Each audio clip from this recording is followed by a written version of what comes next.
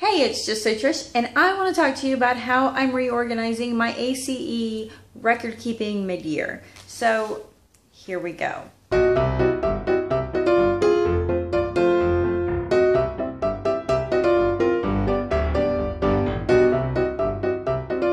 Okay, so remember the beginning of the year? This is my planner. Um, I'm kind of running into it. I love my planner, but I kind of use it more for a calendar and keep the kids' records or like their upcoming tests and all of that. Using this, I'm kind of using it more for a calendar and I put all my like dates coming in and then I was trying to keep all my tests in, but I'm not gonna lie, it's a bit big. And I have a really cool planner because I'm a planner addict. So I wanted to rearrange the way I'm keeping my curriculum. So I had one of these envelopes, envelopes folder systems where really this is just a, so I have it, I have the home educator manual in there because I'm still referring to it from time to time just to check like what they say about certain things. All right, inside has a pocket and then I have these four pocket tabs. And what I've done, I've reprinted my grade master record. This one is Addie's. And what I've done is I've color coded them the way they were. And then I gave myself a spot where I'm just writing in the booklet, the date, and the test score. And then what I'm doing is when I'm pulling the test, I put the test when I'm pulling the test, I'm putting those tests behind it. Now then when I grade it, if I don't want to pull out my big envelope, I just put the graded test behind it. So it's not, it's kind of a short-term keeper keeping spot. I'm not the best about putting everything away.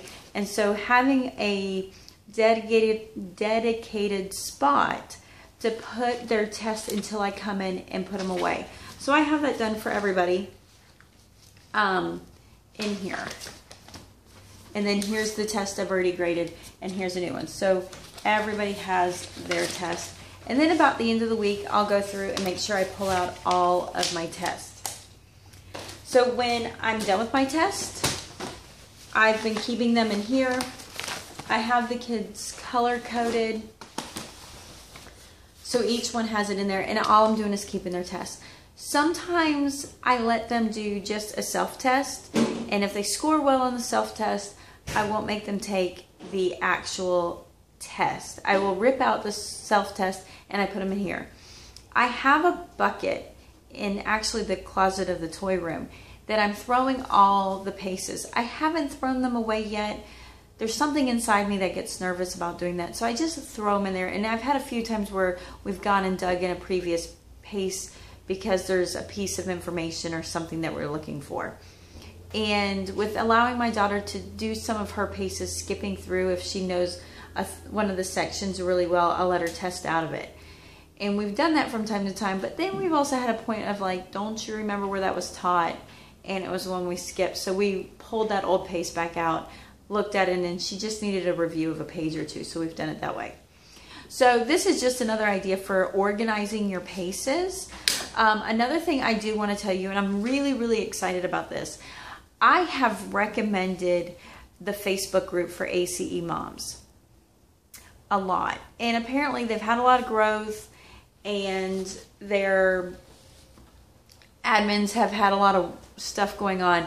And I know that a lot of you have not been able to access that group or have been denied access or not have been acknowledged. I'm so sorry. But I do have to tell you, there is a brand new Facebook group for ACE Mom Support. So I'm going to put the link down here. She's one of the original founders from the other group, and she's spun off and created this group.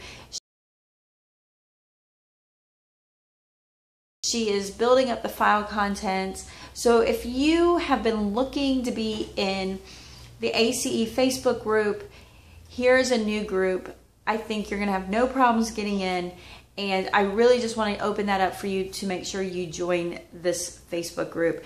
I think you're going to get a lot of help from it. You'll be able to go to and have community, especially if you tried to get into the other ACE Facebook page in it.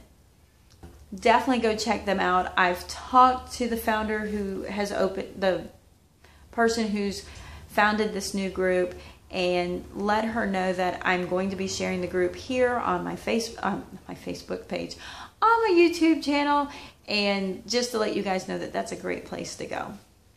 So there you go. Let me know how you're um, doing on keeping your records. One of my favorite things about ACE is actually just the ease of knowing what I got to grab out of the book, knowing what I need to grade, and what part I need to be in, and kind of getting to feel more like a coach or an assistant and not the everyday lesson giver. And I really enjoy that. And the fact of how easy it is just to keep all the work together. It's not a bunch of paper everywhere because, well, I'm cluttered as it is. I don't need any help with my curriculum to be a cluttered mess. So, anyways, I will talk to you later. I hope this helps. Peace out.